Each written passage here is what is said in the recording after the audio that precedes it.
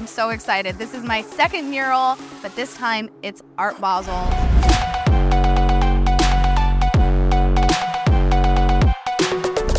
What's up guys, it's Brittney Palmer and I'm back. I am so happy Rolland got here and he is actually helping ease my nerves. There are no mistakes. Whatever we do, we're the artists. We control time, space, reality, and we can do it over and over again until it's right. We are going to go grab a bite with the crew.